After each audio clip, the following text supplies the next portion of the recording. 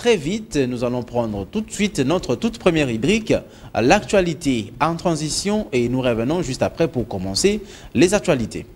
Voilà, les actualités avec Priscilla Mossibo. Bonjour, bonjour Priscilla. Rebonjour euh, Hervé Alors, c'est quoi l'actualité Alors aujourd'hui, je viens euh, en actualité par euh, un tweet de la présidence qui dit le président Félix Tshisekedi félicite Monseigneur Félicien Tamboué Kassembe, nommé archevêque métropolitain de Kananga, Kananga dans le Kassai central, ce mardi par sa sainteté le pape François. Pour le chef de l'État, c'est un honneur pour la communauté catholique de la RDC. Alors voilà, euh, Monseigneur Félicien Tamboué était évêque de Kabinda et administrateur apostolique de Kananga. Il restera administrateur apostolique jusqu'à la nomination de son successeur. Nous avons notre tweet euh, de 7 sur 7.cd. Journée internationale de la francophonie, nous qui sommes endeuillés, nous sommes en droit de considérer que pour nous, il n'y aura pas de célébration, selon le ministre de la Communication, Patrick Mouyaya. Un autre tweet de Steve Wemby qui, dit « Ce mardi 19 mars 2024, l'informateur Augustin Kabouya a reçu dans son bureau de travail privé au quartier GB l'honorable princesse Adèle Kainda et ministre sortante du portefeuille ayant conduit la délégation de l'Alliance des démocrates chrétiens ALDEC en sigle. Top Congo FM qui dit le gouverneur de la ville, Jean Ngobila, va présider une réunion du Conseil de sécurité. Voilà, banditisme urbain, embouteillage récurrent, salubrité, particulièrement dans les marchés urbains et communaux, nuisances sonores devraient être parmi les sujets à l'ordre du jour. Toujours Top Congo, justice libérée le mardi 19 euh, mars 2024 dans la soirée. Le journaliste Stanis Boujakira a rejoint sa famille peu avant minuit. Malgré l'intention du ministère public de faire appel, c'est qu'il aurait maintenu en prison. Il était en détention depuis le 8 septembre 2023. Donc voilà, voilà tout en tout cas pour Voilà, il faut, il faut enchaîner avec ceci, euh, JC Mavouba, il faut enchaîner avec ceci. L'opposant Moïse Katumbi a assisté dans la nuit de mardi à mercredi à la veillée mortuaire de Chéribin Okende, ex-ministre des Transports de la République démocratique du Congo. Euh, la veille de son enterrement, son corps sans vie a été retrouvé euh, tôt dans la matinée du 13 juillet 2023 et l'enquête du parquet a conclu au suicide. Il faut euh, noter que Chéribin Okende n'était pas seulement un ancien ministre, mais aussi un député national. Sinon, JC Mavouba, nous allons revenir maintenant. Nous allons prendre le parcours de cet illustre, de ces grands messieurs. Chéribin Okende a été euh, ministre, a été député, politicien comme ça, et ministre euh, avant sa mort. Il était il a démissionné du gouvernement pour reprendre son siège à l'Assemblée nationale et après il a trouvé la mort. Donc nous allons euh, suivre en long et en large ce qu'a été le parcours de ces messieurs, de ces grands messieurs, Chéribin Okende. Nommé le 26 avril 2021 à la tête du ministère des Transports, Voies des Communications et des Désenclavements, Chérubin Okende Senga s'est révélé comme l'homme de la situation, avec à son actif plusieurs initiatives audacieuses qui ont permis à ce secteur aussi problématique de commencer sa renaissance. Il y a 10 ans, et ça reste comme ça. on se dit, on aime Metelsat, l'État doit faire confiance à votre gestion. 10 ans, 20 dollars. Vous voulez que je vous donne 20 dollars, ça fera combien? 5, ça fait combien pour combien? Dès sa prise de fonctions, le patron des transports a lancé l'audit de gestion des entreprises, établissements et programmes sous sa tutelle afin d'avoir un diagnostic, mais aussi des éléments rationnels qui puissent lui permettre d'améliorer la gouvernance du secteur. Il m'appartient maintenant de préciser aussi une chose en tant que ministre des Transports, voies de communication et désenclavement, mon rôle ici n'est pas de venir chercher le pouls sur la calvitie de qui que ce soit. Mon rôle est d'impulser des actions concrètes qui pourront nous permettre ensemble de relever les défis nombreux qui sont les nôtres. Je suis donc là en train de chercher de voies et moyens pour vous pousser à l'action. Cet audit a révélé à son terme plusieurs failles ayant ainsi conduit chez Rubin Okende à l'élaboration d'un ambitieux plan stratégique de désenclavement et à entreprendre des réformes audacieuses visant la modernisation des infrastructures et l'optimisation des offres de transport en République démocratique du Congo. Dans le sous-secteur des transports urbains et interurbains, il y a lieu de mettre en exergue la réhabilitation des transco, caractérisée autrefois par des grèves à répétition et son déploiement dans 13 chefs-lieux des provinces du pays, la création des Transacademia, un établissement spécialisé dans les transports des étudiants.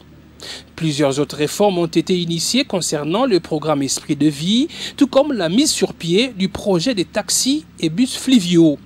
Il en est de même de l'acquisition des 2000 wagons pour les transports en commun urbains et interurbains dans le cadre du projet Métroquine, ainsi que plusieurs autres accords signés avec des firmes chinoises, sud-africaines et indiennes pour la construction des usines de montage des bus en RDC, à l'exemple des Suprêmes Automobiles qui fabriquent aujourd'hui des bus à Kinshasa en faveur notamment des Transco. C'est comme ça qu'on a diminué les coûts de maintenance des opérateurs. Toujours sous son leadership, Chérubin Okende a finalisé le projet de partenariat public-privé pour la production du permis de conduire biométrique sécurisé avec puce, dont le lancement était prévu pour janvier 2023. Nous félicitons l'initiative prise par, par son Excellence ministre des Transports, Chérubin Okende, voilà, la nouvelle classe politique, c'est l'innovation. Euh, il vient d'innover. Il y a beaucoup de choses que nous avons connues dans ces pays, les retards dans beaucoup de domaines, notamment au ministère des Affaires étrangères, notamment la délivrance de, des cartes roses, notamment sur l'identification de la population, les recensements. Je crois que voici au moins quelqu'un qui a réfléchi en termes de la République. Alors, je crois que les autres ministères vont s'inspirer afin que la mutualisation dont on a parlé théoriquement, voilà quelqu'un qui est capable de les rendre pratiques. Et je crois que sur ces mots-là, je dirais félicitations, Excellence. Dans le sous-secteur des transports aériens, L'infatigable chérubin Okende a initié des actions cruciales visant la conformité de la République démocratique du Congo aux normes internationales de l'aviation civile au travers des audits de l'Organisation de l'aviation civile internationale OACI.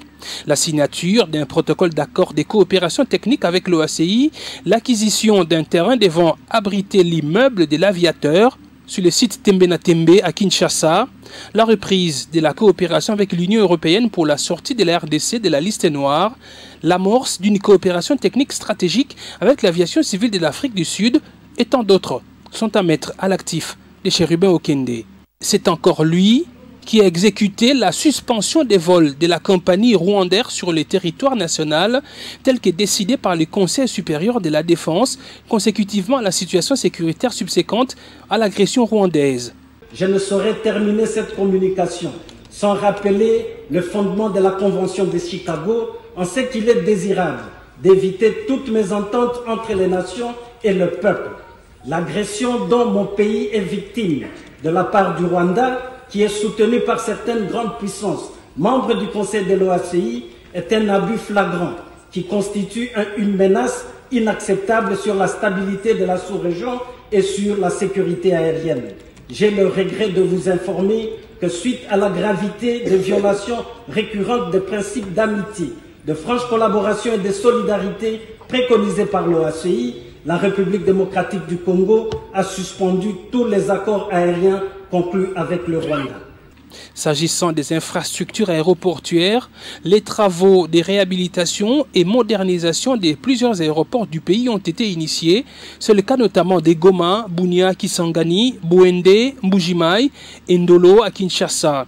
La procédure légale relative à la passation des marchés publics était également conclue pour les aéroports de Kavumu à Bukavu, Eloja dans le Sankourou, Kananga, Kikwit, Mbandaka, Gemena Notre frère, le ministre des Transports, de Communication et Désenclavement, le très compétent Chérubin Okende, avec euh, notre frère, le directeur général euh, Chungu de la régie des voies aériennes, feront un effort pour euh, qu'à l'avenir, dans un avenir que j'espère très proche, que cet aéroport national de l'Odja puisse recevoir de l'asphalte.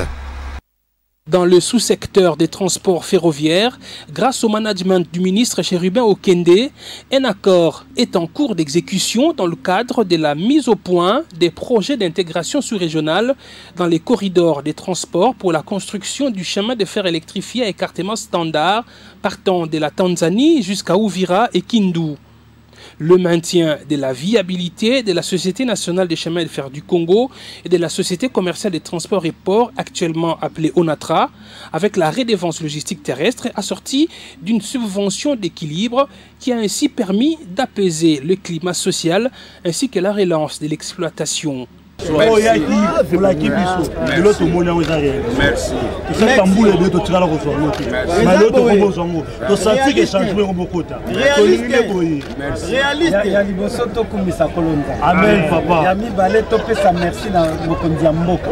Ya président ya république son excellence félix antoine tshisekedi. Ya misato topesa encouragement moka kozwa na premier ministre. Son excellence jean michel samangonge ngai nazali nde motindami na bango gouvernement bawario ba félicitation olatezaka kongo tosepeli boye Pour ouvrir la République démocratique du Congo au monde par voie maritime, les travaux de construction du port en eau profonde des Bananas ont été lancés par la pose de la première pierre par le président de la République. C'est le 28 décembre 2022 que Chérubin Okende a présenté sa démission du gouvernement en tenant compte des résolutions de la Convention nationale de son parti Ensemble pour la République en rapport avec l'Union sacrée de la nation. Celui qu'on avait surnommé Magoufouli est né le 5 octobre 1961. Chérubin Okende a été retrouvé sans vie dans sa voiture garée devant un garage situé sur l'avenue des Poids Lourds à Kinshasa le 13 juillet 2023. Sa mort a provoqué des l'émoi et a choqué les Congolais et le monde entier. C'était à quelques mois des élections générales.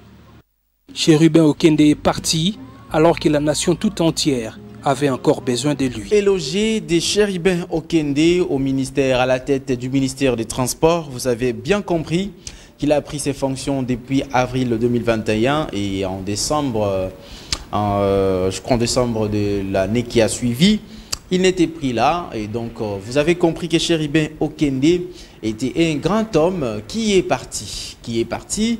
Et nous disons tout simplement qu'il euh, qu soit Hein, que la paix, paix à son âme, et que la terre de nos ancêtres lui soit douce et surtout légère.